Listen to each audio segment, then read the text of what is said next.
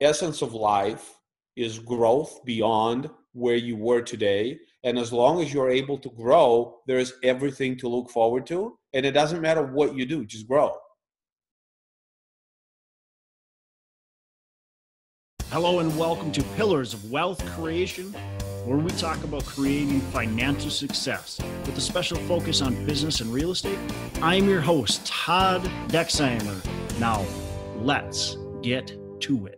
Are you ready to start investing in real estate today but don't know where to start? Sometimes investing can seem way too complicated, but actually couldn't be any easier than with homeinvest.com. You know the co founder and my friend Nate Armstrong. He appeared on episode 20, and if you haven't heard it, go back and listen to it, episode number 20. Home Invest is a company that allows you to invest in turnkey real estate. Their goal is to build powerful investment tools that make real estate investing accessible to everyone. They have contractors and property managers available for you with the click of your mouse. While other real estate agents can only offer a property, Home Invest brings you a full turnkey package that allows you to diversify your investments, earn passive income, and start building equity in properties. Their simple, intuitive design allows newcomers and experienced investors alike to hit the ground running and to be able to choose the properties when they want and where they want. View easy to understand charts and data to allow you to buy in only a few clicks or just a simple phone call. With Home Invest, you'll be building your portfolio as quickly or as slowly as you would like. And right now, Home Invest is giving our listeners, Pillar of Wealth Creation listeners, a free course on how to finally win in real estate investing. So go to homeinvest.com forward slash pillars. That's homeinvest.com forward slash pillars to claim your free course today. Hey, welcome back to Pillars of Wealth Creation. I'm your host, Todd Dexheimer. With me today, I'm excited to have Sam Grooms. Sam, how are you doing? Great. How are you doing? I am fantastic. And I also have Ben Lebovich. Ben, did I say your, your name right? You absolutely did. Thank awesome. you. How are you doing today? Fantastic. Awesome. Well, I appreciate you guys being on the show and uh, brought both of you on because, well, you're business partners. So we want to want to uh, have you both on, tell us about your experiences, but I'm going to do a short introduction of each of you individually. Then you can kind of expand on that. And then I want to know about um, what your partnership is all about. So, uh, first of all, Sam, he's a CPA turned real estate investor, has been doing it for several years. Uh, started with the flipping, uh, then doing some passive investing, and now he's doing the uh, multifamily syndication. Uh, then we have Ben, and he was a, a violin player diagnosed with MS. And uh, once that happened, started looking for you know what to do. And real estate kind of happened in 2006. Started doing some single families, some small multifamilies, and then syndication. So with that, one of you kind of take us. Uh, I, I guess maybe each of you individually take us a little bit about your background, and then one of you uh, kind of expand upon what your business is right now. Sam, you want to take it? Sure. So my background is uh, I'm a CPA. I was doing, I worked at Deloitte, uh, was doing auditing, then went into doing um, the SEC reporting for a $3 billion public company here in Arizona. Um, and started flipping on the side. Um, actually started doing a basically a live and flip, and that's how I started. Liked it. Started flipping on the side. Um, liked it so much, I left my career. Uh, my wife left her career. We started flipping, um, but we still had a job, and we wanted to start investing as well.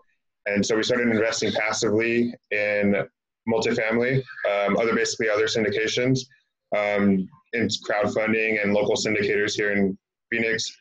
Um, and then that's when Ben and I connected and we decided to uh, start sponsoring our own deals. So what what um, what got you into investing passively, and what was was there any benefits of doing that other than obviously making return on investment? Um, so in flipping, you're, you're I have another job, so I'm just, I'm just trading my time for money. Um, so I wanted to have some kind of some cash flow coming in. Um, flipping, you don't get any of the tax advantages that you do from investing passively. Um, so we we knew we wanted to do that. We the, with the, where the market is right now, it doesn't make a whole lot of sense to do single family for us. Um, and we didn't want to have to manage it ourselves. So we knew we had to go large. At first, we started. We looked at partnering with a few people. Um, we had there was three or four of us that wanted to invest and partner on a deal. Uh, we just really wanted to go. I, I, we were limiting ourselves to about 50 to 75 units. We really wanted to get larger even than that, uh, just to be able to have full time on site personnel, uh, both as managers and maintenance. And that only really made sense when you start investing passively in larger deals. Uh, so that's the route we took. Okay.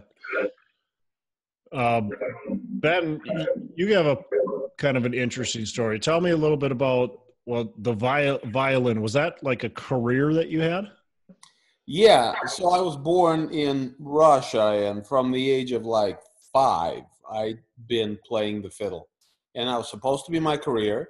Um, and I, I, came to America in 1989, uh, became a citizen, went to the conservatory in Cincinnati, was not quite, I mean, I don't consider myself a child prodigy, but, you know, maybe kind of like on that spectrum somewhere at the bottom. But then uh, I think it was a first or second year, I don't remember now, of my um, master degree at the conservatory, just all, my body went completely nuts. And yeah, that's a long conversation. We don't want to have it. But what it came down to is hey, Ben, maybe it's not the wisest thing for you to rely on fine motor skills such as a violin player, to make money.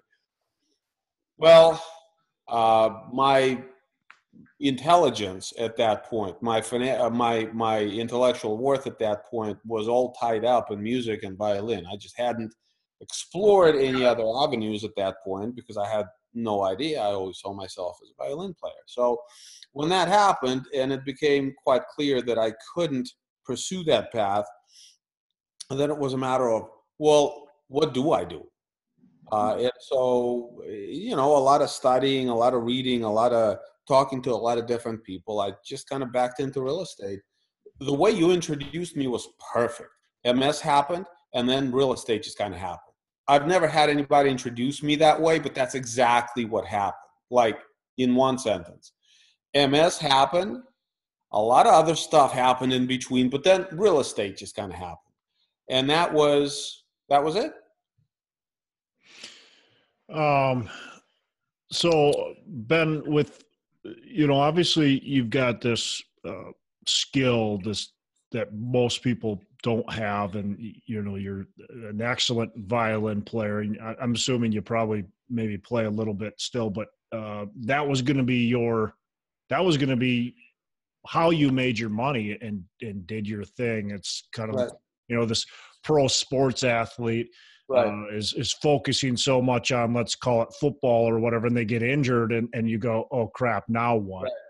Right. Uh, right. What what got you from from you know that depression of like this is not what i'm gonna do and i don't maybe you weren't ever like that but th- this is not what i'm gonna do and uh now what do i do like right where was the motivation there and what like what what kind of take me through that a little bit because I think Boy, that's interesting. You're asking very intuitive questions. I don't usually have people ask me this stuff.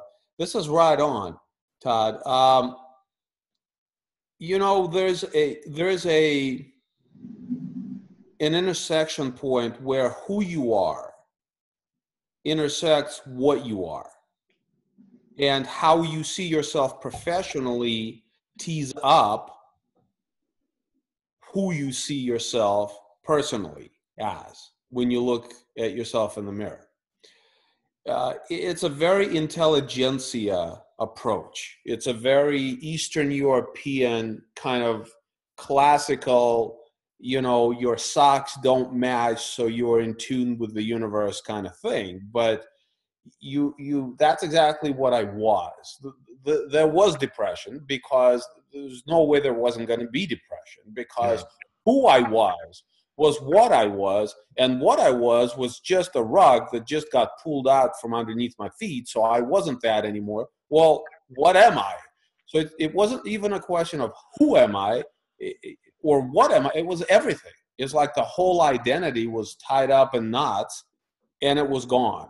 Okay, so it was a difficult, difficult thing, and I think that the first step in that process you know to move on was to realize that who i am has nothing to do with what i do but it has more to do with how i grow so hmm. i'm to, like today I, pride myself and i pinch myself that i'm so lucky because i have the option and the, the freedom to only do what i want to do with who i want to do it okay? And i never you're never you're never going to find me somewhere where i don't want to be.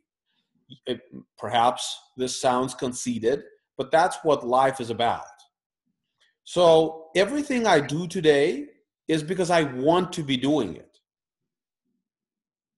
it which is why i do it which is the essence of growth so that arrival at that perspective of okay you were a musician and that's who you were but now you're not anymore. You're a teacher here, you're an investor there. You have an online presence and you sell a product online over here. You have a portfolio you own over here. You have syndications you do over there. And you do all those things. Why? Because you outgrow the cup that was you yesterday. So today, the cup from yesterday isn't big enough to fit everything I want to be. So I got to build a bigger cup. And that's what makes life fun for me right now. And that's what also makes it challenging. But that's what allows me not to be depressed or fo- uh, you know to be be focused on the potential uh, of growth as opposed to the limitations of you know yesterday or whatever have you so it's easier to talk about it now because I've internalized it and I can look in the rearview mirror and I see all this imagery. So it's easier to describe to you the imagery. Back in the day, when I was depressed, trying to figure this out, this, this wasn't easy. And it didn't fully formulate until much later. But kind of the the pointing the nose of that spaceship in that direction that essence of life is growth beyond where you were today and as long as you're able to grow there's everything to look forward to and it doesn't matter what you do just grow um, i think that's what got me out of the depression and helped me move on um, so listeners need to rewind that and re-listen to that because you have some some pretty powerful quotes in there. so I, I thought that was that was pretty good. Growth growth is you know going beyond where you are today. I thought that was really good. You had, you had a lot of good things there. So appreciate that. Uh, so Sam, I want to ask you. You get a CPA job, and uh, CPAs, you know, make some good money. What why'd you go i want to become a real estate investor i want to get out of the cpa job what was there anything in particular that made that click it, it didn't start where that wasn't my goal is to leave accounting um, it started out something on the side and i realized how much i loved doing my stuff on the side a lot more than what i was doing at work and if i could scale it made sense to just do that full time um, so it was, it was a definitely a progression, and it's not what I set out to do, but it, it boiled down to I liked doing real estate a whole lot more than sitting at a desk. Yeah, I think that was for me as well. As when you're like when you're going to work and you're thinking about what you're going to do after work with your real estate stuff, you know, it's time it's time to start uh, maybe changing directions there.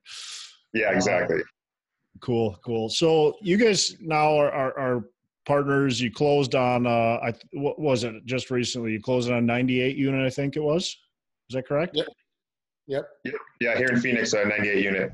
Okay, awesome. And so, and you syndicated that, which is great. I've got a couple questions then on that. So, eh, you know, partnerships can be difficult. Can be difficult to find a a good partner that you can trust, uh, and also, you know, it's it's like a it's like a marriage. I mean, you guys are in this deal together, and you have to be able to work together. So, first of all, how did you kind of, you know, find maybe each other and then start working together.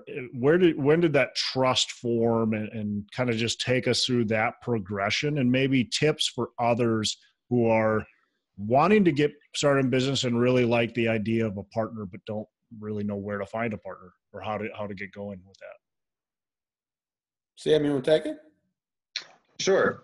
Um, so ben ben was uh, putting together a deal, um, and I was an investor in that, and it, it, ended up falling through. But through that deal is where, where Ben and I met, and I we worked a lot. We talked a lot. We had a lot of communications during that deal, um, and then as soon as that deal fell through, um, the seller basically didn't want to sell it anymore. Um, and so when that happened, I I decided that I wanted to start getting in sponsoring um, a few months before that, um, and this was actually going to be one of my last passive investments. And so I basically told Ben where I was at, and we just I was going at a conference in Vegas when this happened, and Ben was a little down when that happened when he was going through that, and the deal didn't go through, and so we just start, basically started underwriting together. Um, and we didn't know that we were just going to be partners, but we started sending each other deals, and we're both in the same city, so it was easy for us to connect. Um, and it just slowly graduate, uh, gradually became a partnership. Um, started flying to different areas of the country, submitting offers, looking at properties, um, and then our roles slowly got defined going through that process. Um, ben can tell you the story of probably when we were flying back from, I think it was Indianapolis, of how we. Uh, I, I, it's funny. We were sitting down for a burger. Uh, we were in the highest and best in a, uh, on a property in Indianapolis. We didn't we didn't get it, but we went out and put boots on the ground and and on the way back we're sitting having a burger at, at you know one of the airport joints and I just I look at Sam and I go because I like him. Let's face it, I wouldn't be partnering with him because he's better than me at some of the things. I'm partnering with him because I like him and I trust him. Uh, but I turned to him and I said, "Why do you want to partner with me? Uh, I could be an asshole." And he just kind of looked at me very naively and says, "Just don't be an asshole. Be fine." That's what you know. The way we hooked up, I have a really good friend. His name is Brandon Turner. You probably know him, uh, Bigger Pockets. Yep. And uh, he's the one. I he's the one that connected us uh, for this deal. Um, but you know, Sam and I met and had lunch, and he was going to invest in a deal that didn't didn't happen. And then, just like you said, we just started working together, and um, it's a very interesting dynamic, uh, Todd, because I, you know, I, I'm a smart guy, but I don't have classical training, either mathematically or accounting wise. So uh, I'm a musician, I'm an artist. So I tend to think of real estate a little bit more liberal arts. So I've been doing it for a decade. And I, I just I paint stories when I underwrite, whether it's a 20 unit, a four unit, or a 200 unit, I underwrite stories and then I boil those stories down to numbers. So, you know, you have LTL. Well, you know, it is a numerical line item and it stands for something mathematically, but more importantly, it tells a story of a behavior, set of behaviors at the property. The same is true with vacancy. The same is true with every line item in that underwriting. So I start thinking about things in terms of stories. I look at this project I look at where it is, I look at where it can be, I look who it's going to attract, who's there now, what we can do. And I see this whole picture. And then what I do is I, just the way my mind works, I boil it down to numbers inside those cells in those line items. Okay. Sam is very different. Sam is very computer-like, computer uh, like mathematical. He he goes straight to the numbers. Like the numbers are his story. Okay, so we start visualizing each property from a little bit of a different focal point. And then it's very interesting how our perspectives marry. So that goes to your question of why does this partnership work and why does it work well? Because we balance each other very well. You know, I have 10, 12 years of experience of dealing with tenants. I know how they behave, I know what happens in their lives. He doesn't have that experience, but he has experience in numbers that I don't have. So it's very interesting dynamic how we arrive at a commonality when looking at the same project. It's working very well. We're able to be very competitive. We were just in the highest and best last week uh, on 164 unit. We were went through all the way highest and best. Went through the telephone conversations. We were we were one of two standing at the end of the day. We didn't get the property, uh, but uh, we're, we're able to be very competitive in this environment with our underwriting. And I think our backgrounds and where we come from and how we look at things a little bit differently and then, you know, synergize those perspectives. That I think has a lot to do with why we're able to be competitive. That's that's really cool. I I I, I appreciate uh, you sharing that because um, your background is definitely a lot different than than Sam's, and and actually Sam's is probably a lot closer to mine. I'm very analytical. I'm very black and white, like a number is a number. one plus one is is is you know two, and and where you're looking at it in a more um, liberal way, and and we can you know paint a different picture uh, to say, and so I think that's that's very interesting. I appreciate you sharing that and it's not i am also very analytical at the end it's it's a funnel yeah. i'm trying to describe to you a funnel but my funnel doesn't start with numbers at the top my right. funnel starts with a larger perspective um, of behavior yeah. and interaction of human behavior and property just because this is this is how i think about things at the end of the day the numbers decide everything but the numbers are only as good as the inputs that you put in.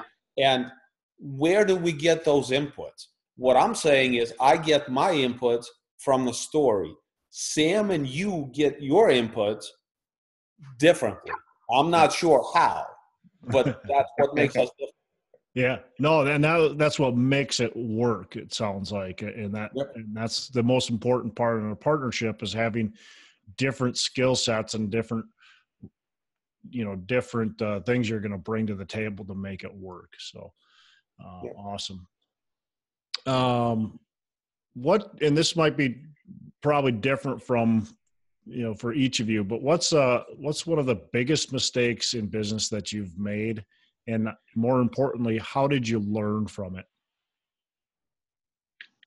Take that one ben Um,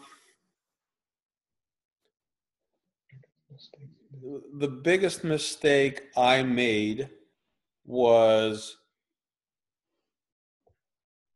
not listening to my intuition as it relates to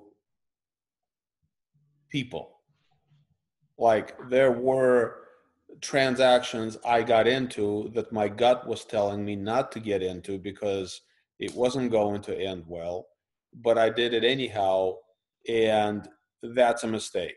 So, uh, again, maybe something less than mathematical or algorithmic or more liberal arts, but that has been my biggest downfall. Interestingly, I can't change that because today I'm doing the same thing. I'm doing it with Sam. So if, if he screws me, I'll be going on another podcast and saying the same thing, but I don't have my gut telling me not to do it. You know, it's like I, I see the best in people. Uh, and business is about people. And I tend to see the best in people and I want to believe the best in people. And sometimes that's a mistake. And my biggest losses came from you know forcing that perspective on myself and on the situation that everything will be fine because people at the end of the day are inherently good and behave honorably which is just not the case all the time. Yeah yeah i couldn't i couldn't agree more. Actually dealing with that right now is is i my intuition said after I met uh, these people, said not to do business with them, to walk away. And but I was in a position where I needed it was you know somebody to manage my properties. Uh, I needed it, and so the, I moved forward with it, and it ended up being a, a definitely bad. I had to fire them, and they caused a lot of problems. So, uh, and it happens. Uh, oftentimes, our intuition is is correct. Absolutely. Yeah. For, Sam, how about you? Yeah. Yeah. So mine would be I I waited too long to get started. So I I feel like I have to control every variable. I have to learn every aspect of it before I get started. And finally, I mean, after about a year of that, I finally just realized I need to take the leap of faith and do my first deal. Um, and that year was when the market was hot and it was only getting hotter. And I, I, yeah, it would have been a lot different if I had started a year earlier when there was a bigger market increase than when I got started. Um, uh, so just not feeling that I had to be totally prepared. Um, so, I mean, obviously, you need to be educated and know what you're doing, but know that you can't control everything. And there's the best way to learn is just getting out there and doing it. Yeah, couldn't agree more. Re- ready, fire, fire, aim. Right? yeah, yeah. cool, cool. Hey, I want to interrupt this episode real quick to talk to you about Nate Armstrong, uh, our sponsor, Nate Armstrong. He's with HomeInvest.com, and you want to get to know Nate. So go to HomeInvest.com and just connect with Nate. Talk to him learn about his operation, what he's got going on. He's a turnkey provider, and it may not be right for you, but it could be the perfect fit. So it doesn't hurt. It's a free call, free consultation just to figure out, you know, what they do, what they have to offer. And worst case is you're going to meet a great person who's really well educated in real estate. He's done a ton of different real estate strategies and probably is going to teach you a little bit, even on a short conversation uh, with him. So go to homeinvest.com and, and uh, connect with Nate's company. You're definitely not going to be disappointed. It's worth it. So uh, thanks, and we'll get back to our show. So this 98 unit, I want to cover that a little bit. Uh, tell me a little bit about the the deal if you can, or what what can you tell me about it? I guess, and uh, why did you like it? Why did you end up buying it? Well, we can tell you everything you want to know. I mean, it's pretty public. We've posted. Uh, I mean, I wrote about it on my side. We posted all over Bigger Pockets. There's there's just a huge thread on it. So um, we're we're pretty open about all the details on it. It's a big value add, um, which is you know the only kind of things that we're interested in. Uh, it, it is it's it's in Phoenix first of all, I think, you know, if we're going to have like a serious or a semi serious conversation about syndication uh, or large apartments, we need to start out with the market because you just can't do this stuff anywhere. You, and by this stuff, I mean take people's money, hard earned money, people who trust you, and put it in a market that is subpar, that you don't believe in with everything you got. And there's only a few markets that are real growth markets specifically late in the cycle as we are, that reasonably you should be trying to do this. So Sam and I like Phoenix. Um, we can have a conversation about why, but that's where we would start. Is it's in Phoenix. It is also in the part of Phoenix that is uh, earlier on the curve, or later on the curve, I should say, than um, than the rest of Phoenix. And Phoenix itself is behind national trends on many of the metrics. So uh, that would be the starting point. And then the deal itself is a it was a very mismanaged uh, property.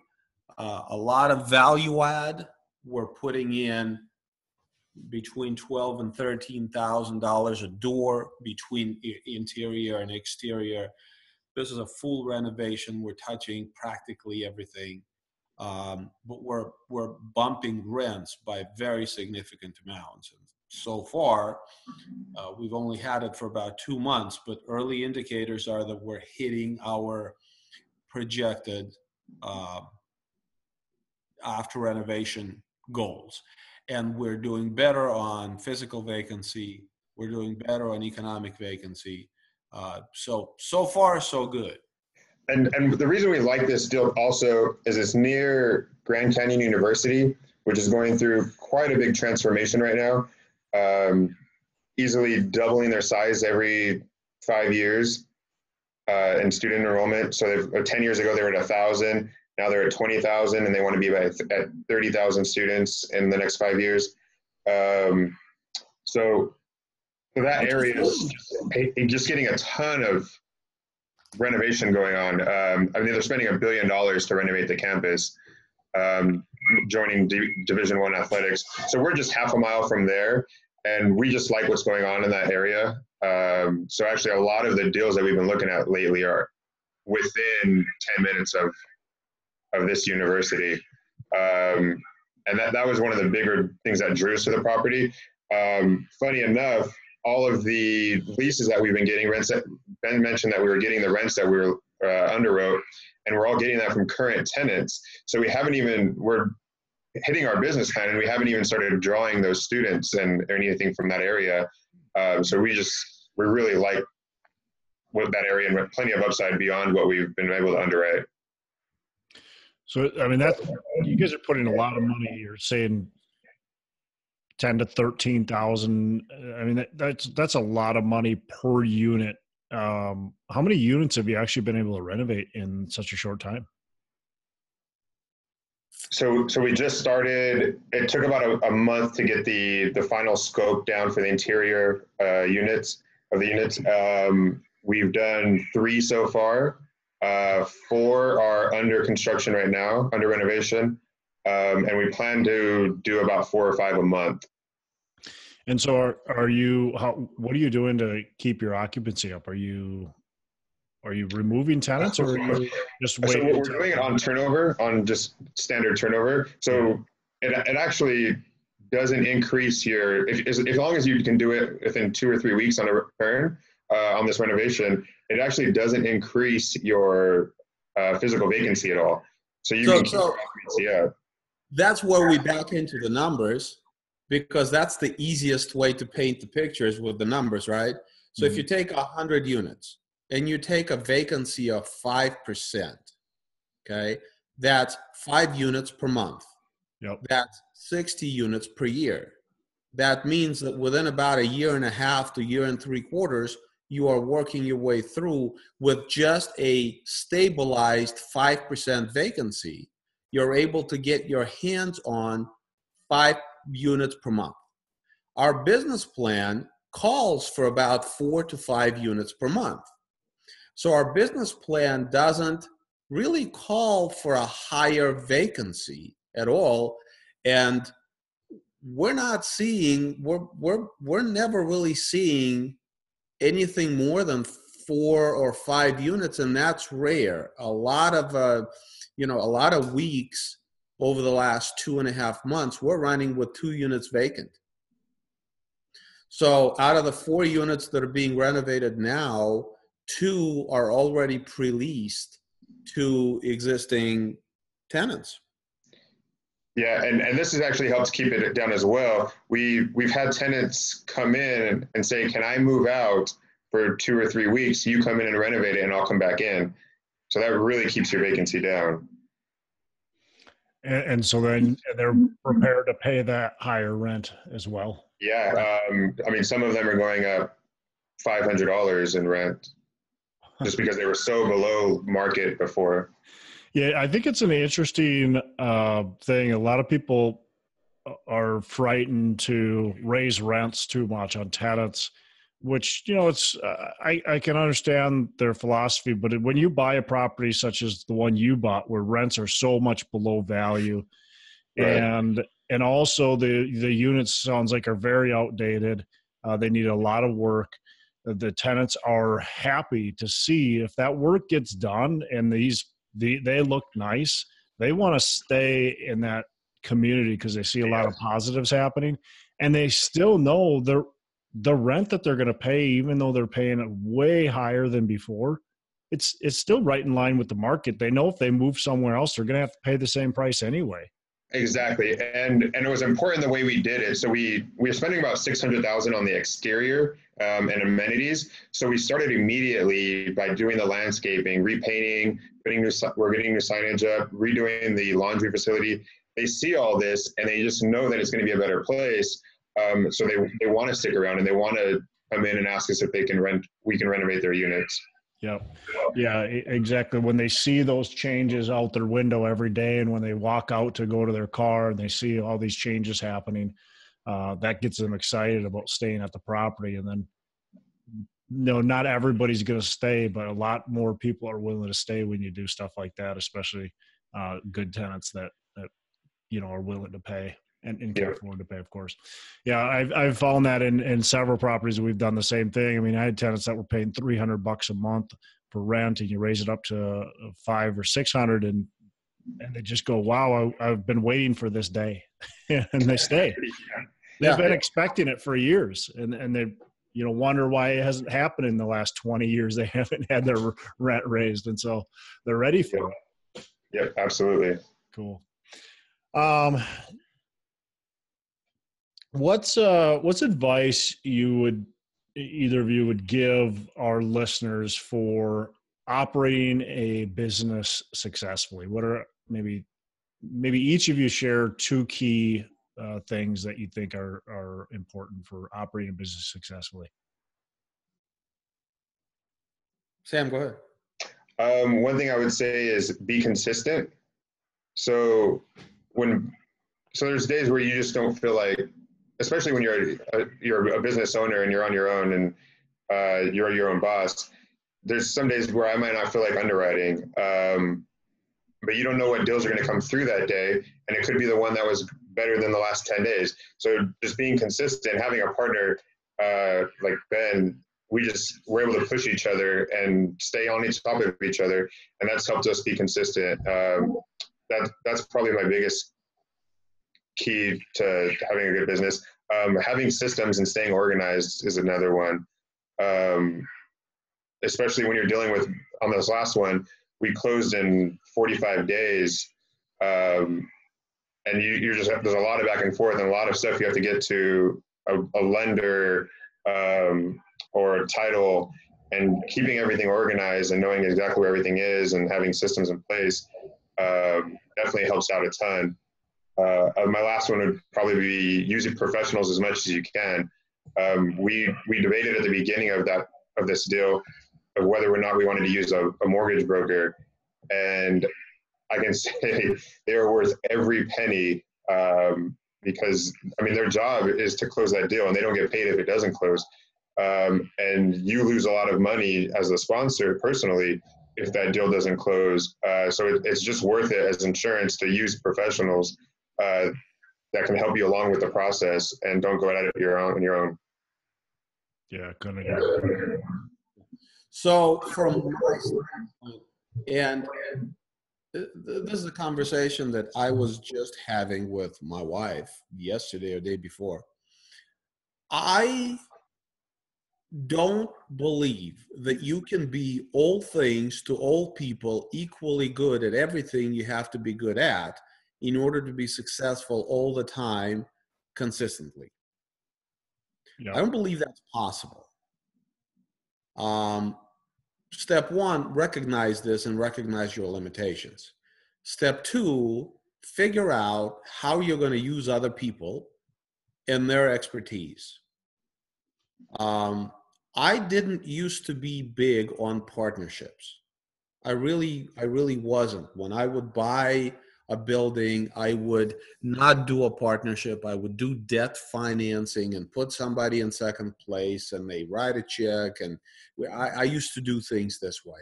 I believe that being in control of everything was the the best way and the only way. I don't believe that because exponential growth, which is what it really takes, it takes exponentiality in order for you to be happy. Exponential growth requires you to grow much more than humanly possible if you try to do it on your own.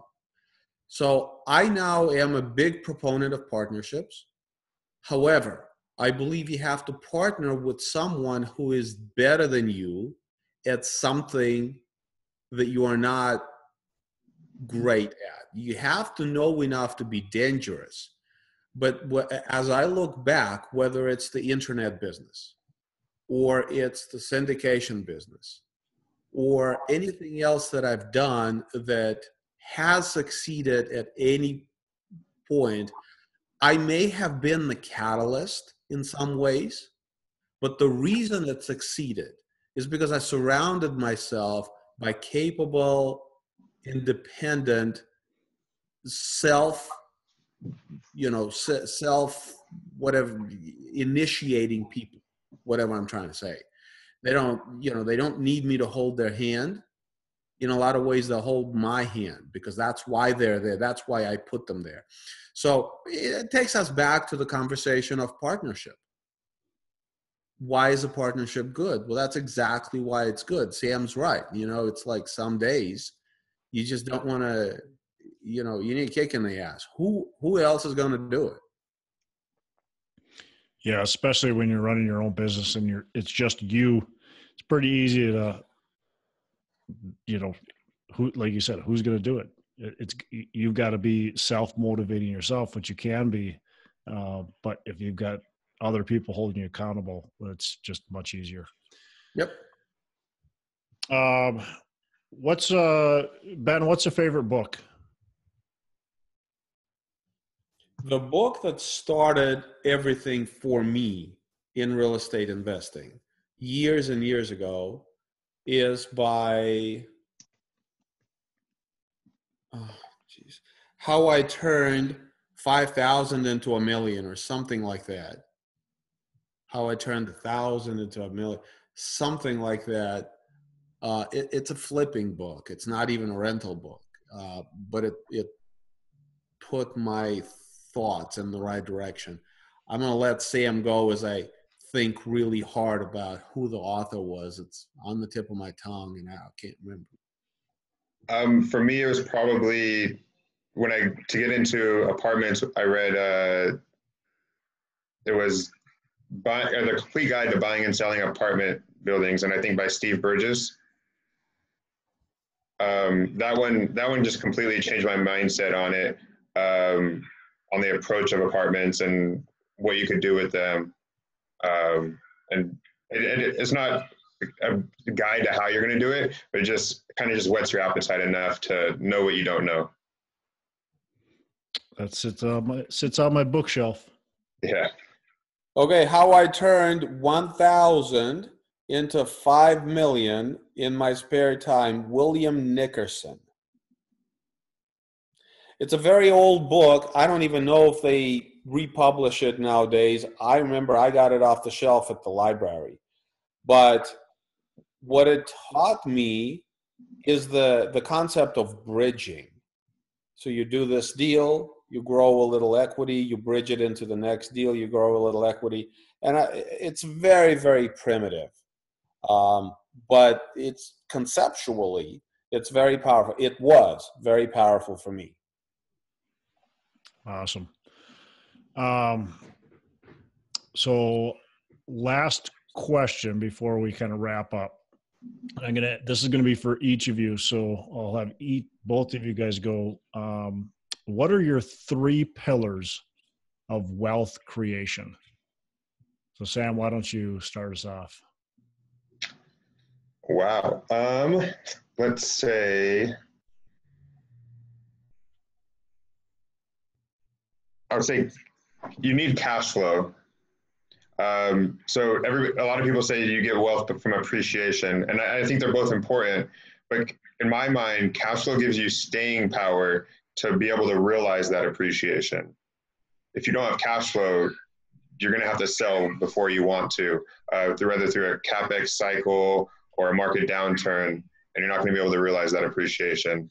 Um, so I say I'd say those are two big pillars that go hand in hand um, to be able to give you wealth creation. Um, another one, I would say uh, tax strategies. Um, so minimizing your tax strategy, I mean, exponentially be able, allows you to increase your wealth over time. Perfect. Ben? So it's interesting because Sam had equity, but no cash flow. Yeah. I had cash flow, but very little equity. And so that's why this marriage, Todd, works so well because we understand each other. And as is, it seems with everything, we're coming at it from different perspectives. Yep. So I realized that cash flow is fool's game because you can't make enough cash flow to support future capex without appreciation. And when I started in Ohio, it was just like I have I have a nice building, a nice cash flow, but when the furnace goes out, there goes three thousand dollars. How much of my future cash flow did I just pay out for this furnace? And that's okay if the building is appreciated by ten thousand. I don't feel bad about it. But if the building hasn't appreciated by 10,000, then I feel like I'm throwing good money after bad. And that's that's where it, it really became clear to me that wealth is equity. You can't get there without cash flow, but you can't keep your cash flow without equity either. And so those two are absolutely necessary. They go hand in hand. You can't separate them. Stable cash flow only is stable if it's backed up by an asset which is an appreciating asset because an appreciating asset is an appreciating asset for a number of reasons. The market is recognizing its appreciation for a reason. It doesn't happen in space. It doesn't happen for no reason right? So my three pillars are you have to have cash flow.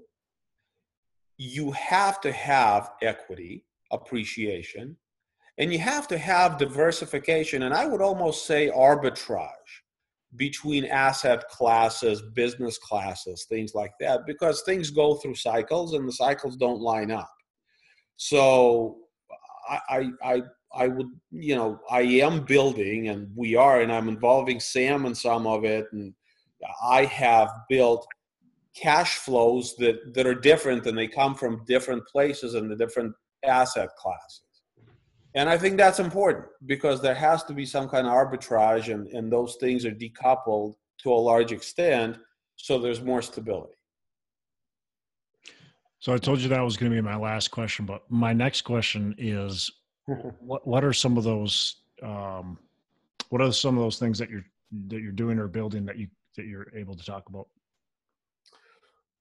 Well, I mean, I've had a website for a decade now, and I've taught people real estate. I haven't had, I, I never did podcast.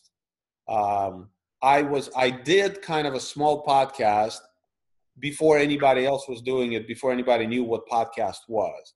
And then by the time I kind of thought maybe I should do a podcast, everybody else was doing one. So I just kind of said, eh, whatever. But I've been, uh, for instance, uh, on my website, I've been selling a product for probably eight years, a course on real estate, an introductory course called CFFU. Um, quite a few people purchase the course. It's a few hundred dollars. It's it's not expensive. Most of the people that buy are BPers. Uh, that provides some revenue that's completely decoupled from what I do in real estate. My wife is a licensee. She does very well for herself. She sells property. She's you know she's a real estate agent, a, a, a realtor. Um, I have a portfolio that I own in Ohio that I bought that I still own most of it in Ohio, which is the cash flow play.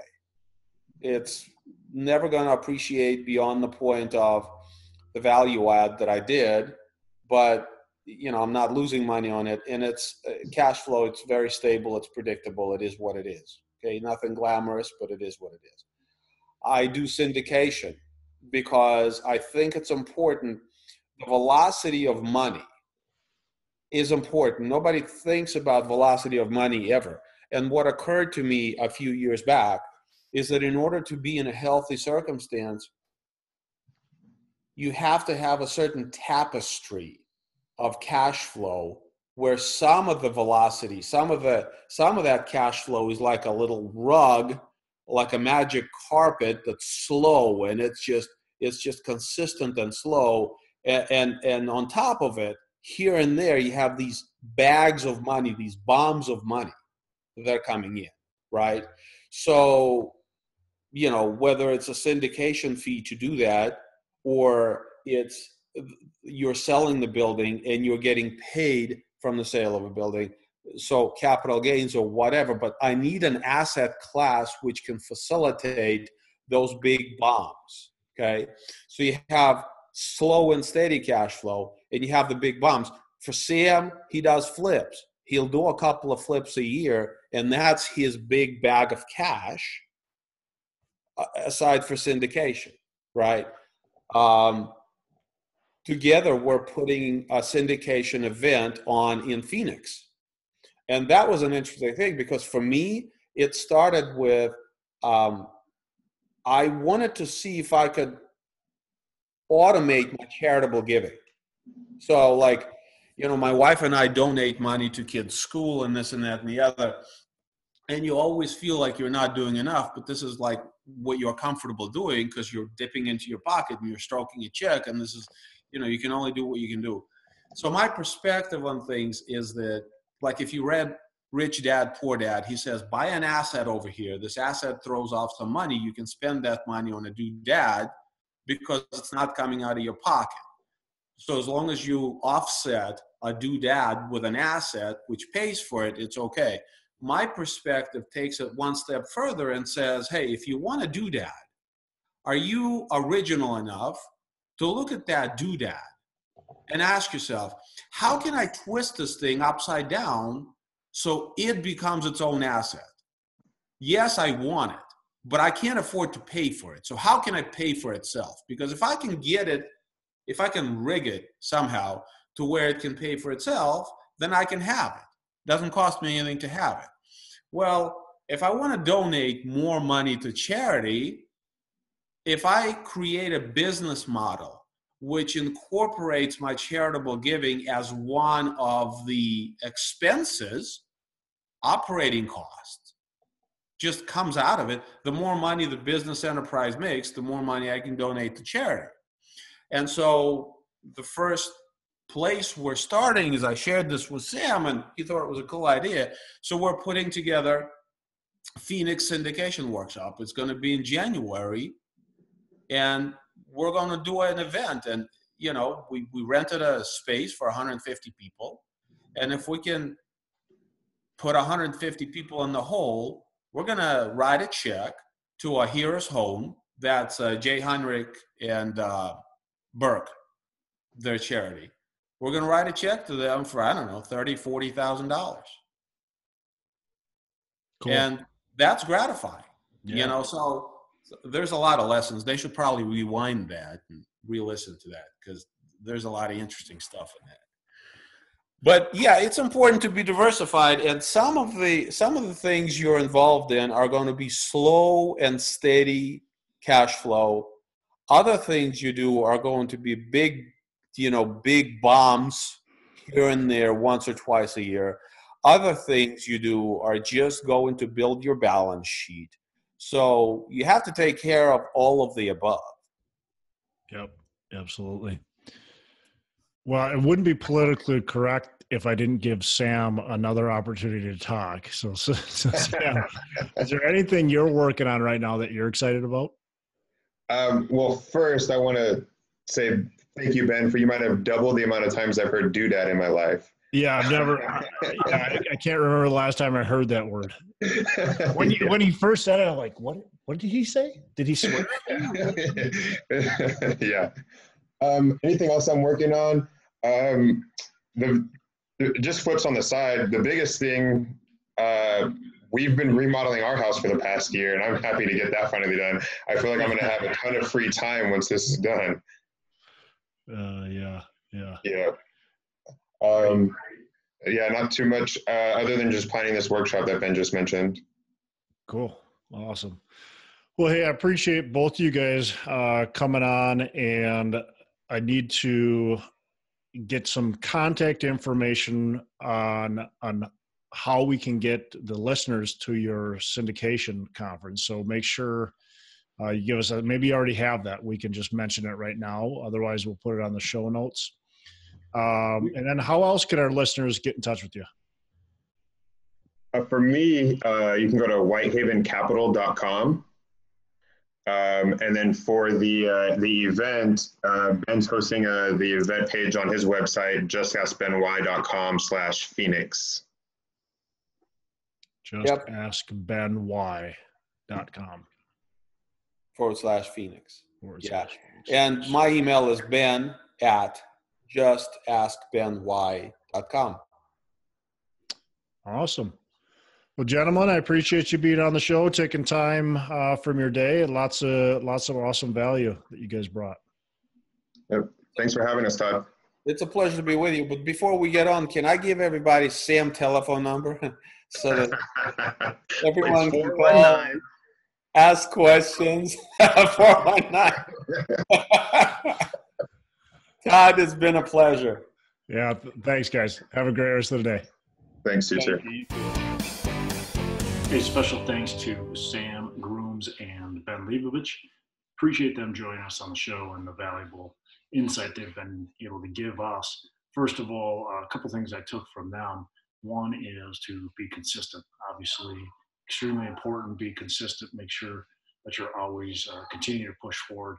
Uh, number two is to talk about uh, you know having systems and being organized and you know growing and developing those systems, changing them when needed, but making sure you have that in place.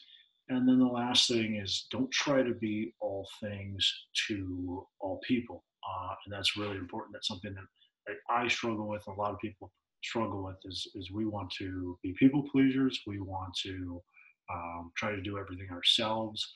Uh, but it's important to make sure that you're, you know, you're delegating, that you're not trying to be everything to everybody, uh, that you're getting the right people in place uh, for your company in order to grow. So, uh, awesome advice, great podcast. Appreciate them being part of the show again and uh, be part of the event they got coming up. Go to justaskbenwhy.com forward slash Phoenix. Uh, you can also connect with them at whitehavencapital.com. We'll put that into the show notes. Um, and uh, yeah, I think it, would be valuable. Go go to their event, check it out, and uh, do some networking. Meet Ben and Sam. Thanks a lot for joining me on Pillars of Wealth Creation and go onto our Facebook page. Check our Facebook page out, Pillars Wealth uh, on Facebook, and make sure you go onto iTunes. If you haven't already gone to iTunes, go there, give us a five star rating review, hopefully five stars, and let us just let us know what you're thinking, what you like. Uh, same thing on Facebook or uh, or YouTube. You can reach out. You can send us a note. I'm Todd Dexheimer, signing off. Make every day set. Are you ready to start investing in real estate today but don't know where to start? Sometimes investing can seem way too complicated, but it actually couldn't be any easier than with homeinvest.com. You know the co founder and my friend Nate Armstrong. He appeared on episode 20, and if you haven't heard it, go back and listen to it, episode number 20 Home Invest is a company that allows you to invest in turnkey real estate. Their goal is to build powerful investment tools that make real estate investing accessible to everyone. They have contractors and property managers available for you with the click of your mouse. While other real estate agents can only offer property, Home Invest brings you a full turnkey package that allows you to diversify your investments, earn passive income, and start building equity in properties. Their simple, intuitive design allows newcomers and experienced investors alike to hit the ground running and to be able to choose the properties when they want and where they want. View easy to understand charts and data to allow you to buy in only a few clicks or just a simple phone call. With Home Invest, you'll be building your portfolio as quickly or as slowly as you would like. And right now, Home Invest is giving our listeners, Pillar of Wealth Creation listeners, a free course on how to finally win in real estate investing. So go to homeinvest.com forward slash pillars. That's homeinvest.com forward slash pillars to claim your free course today.